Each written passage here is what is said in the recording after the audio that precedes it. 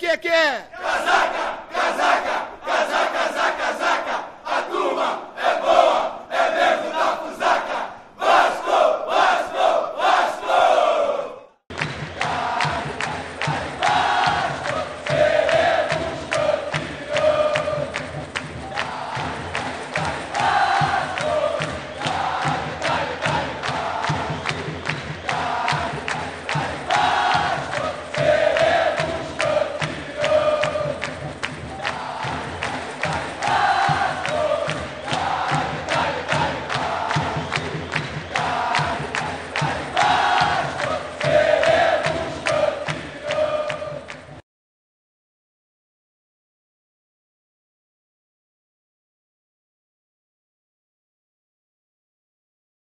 A renda chegou a quase um milhão e meio de reais. As duas torcidas transformaram o jogo numa grande festa. O jogo antes do jogo, a euforia antes da festa. Domingo de sol carioca e harmonia entre as torcidas. Vascão, perdão, torcida de novo. Na trilha sonora da decisão, o samba da Unidos da Tijuca, a escola que tem o Vasco como enredo para o carnaval. O Vasco da Gama, meu bem, campeão de terra. Do lado de dentro, o outro lado do mundo. Um telão de alta definição instalado pela Rede Globo mostrava ao vivo a conquista da seleção na Arábia. Se a torcida pelo Brasil era unânime, na arquibancada quase tudo era preto e branco. Palmeiras da minha infância tinha uma academia de futebol e aquilo me impregnou de Palmeiras. Rio de Janeiro, Maracanã, domingo 21 de dezembro. Se o melhor da festa é esperar por ela, chegou a hora da bola. Faltam só 90 minutos para a alegria começar de um lado e a tristeza de outro. 90 minutos que duram uma vida. A torcida divide cada lance, sofre, espera, cabeceia, faz o que pode para ajudar o time a ganhar o título. Mas o tempo é implacável. A cada volta do relógio, o 0 a 0 insistente ia escrevendo o nome do campeão. Apesar da pressão do Palmeiras, o Vasco, o time de 70 pontos ganhos, do artilheiro Edmundo e do goleiro Carlos Germano, segura o empate e ganha o título. O Maracanã comemora. O Vasco é campeão primeiro lance de perigo do Vasco é com o Evair, no cruzamento de Juninho. A resposta dos palmeirenses sai dos pés de Zinho, que coloca por cobertura. Edmundo quase marca num lindo lance, mas a zaga do Palmeiras salva em cima da linha. O atacante parece não acreditar. Edmundo bem que tentou e foi um dos melhores em campo, mas numa decisão sem gols, quem mereceu o título de herói do jogo foi o goleiro Carlos Germano. Os palmeirenses insistem pela esquerda e no ótimo chute de Júnior, Germano volta a se destacar. A pressão continua no chute de Alex e o goleiro do Vasco faz outra bela defesa. Aos 29 minutos, Viola desmaia em campo e é retirado de maca. E no último lance do Vasco, Edmundo quase faz. Mas Germano prova aos 45 minutos do segundo tempo porque merece o título de herói. Ainda que seja um herói modesto. Herói? Nem tanto, cara. Acho que... O Vasco, o Vasco todo. Os parabéns pelo que fez. Foi a melhor campanha do campeonato. Decisão difícil, né? Mas basta de parabéns.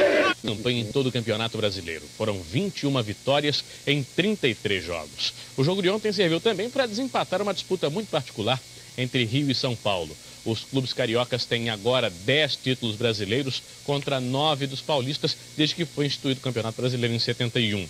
Mas se o Vasco teve o artilheiro do campeonato de 97, Edmundo, o destaque da decisão foi outro. Carlos Germano.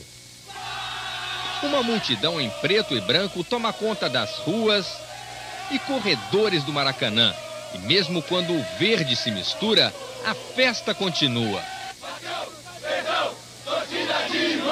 A torcida do Vasco ensaia o ritmo da vitória. Nas bilheterias, desordem e desrespeito ao torcedor, que paga ingresso, mas é obrigado a entrar de joelhos no estádio. Edmundo dribla, acerta uma bola na trave, exagera na vontade de marcar um gol. Zinho não leva tanto perigo ao gol de Carlos Germano, o homem elástico que garante o título ao Vasco. Germano também é solidário. É o primeiro a socorrer o atacante Viola, que depois de levar uma cotovelada no rosto, desmaia no gramado. Ele sai de maca, é levado para um hospital e está em observação. O placar do jogo é bem diferente do que os torcedores queriam. O Vasco é campeão brasileiro de 1997.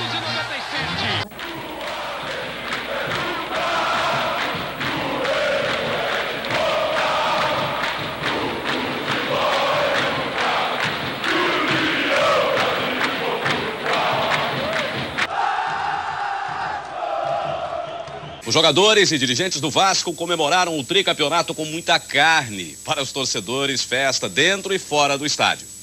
A torcida invadiu as ruas do Rio de Janeiro para comemorar a conquista do tricampeonato brasileiro. Mas foi numa churrascaria da cidade que a festa entrou pela madrugada.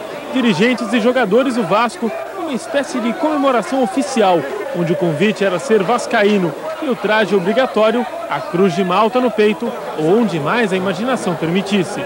Tanta alegria só tornam ainda mais difíceis as coisas para o ídolo dessa torcida que está deixando o clube. Edmundo, ano que vem joga na Itália pela Fiorentina. O campeonato que eu fiz aqui no Brasil esse ano, se eu fizer a metade lá na Europa, o reconhecimento é triplicado. Tendo em vista que outros jogadores estão fazendo lá três vezes menos do que eu fiz aqui e estão cotados para ganhar a bola de ouro, melhor jogador do mundo. Na festa para os melhores do Campeonato Brasileiro, Edmundo acumulou troféus. Foram quatro no total, entre eles o de melhor jogador e maior artilheiro da competição. O atacante recebeu mais de 100 mil reais em prêmios e um conselho do presidente da FIFA, João Avelange. Se esse rapaz se tranquilizar, indiscutivelmente é um dos maiores atacantes que o mundo possui. Torcedores do time dividiam felicidade e tristeza à espera da foto oficial do campeão. Felicidade pelo título conquistado e tristeza por um motivo especial. Esta é provavelmente a última vez que Edmundo entra em São Januário como jogador do Vasco. Ele parte para a Itália, mas já deixa saudade no coração dos torcedores. O coração já está sentindo, está batendo forte para ele longe da gente aqui. Vai ser difícil arrumar um substituto para ele. Tomara que ele seja muito feliz lá na Itália, na Fiorentina. Eu nunca recebi tanto carinho, tanto respeito, tanta admiração quanto eu tenho recebido ultimamente aqui no, no clube. Então, o coração tá, tá, tá mal e pede para ficar. Mas a vida não é do jeito que a gente quer, né? E acho que tem outras etapas na vida que tem que ser ultrapassadas. Por isso, com certeza, a torcida e Edmundo vão guardar a imagem desta foto oficial com muito carinho.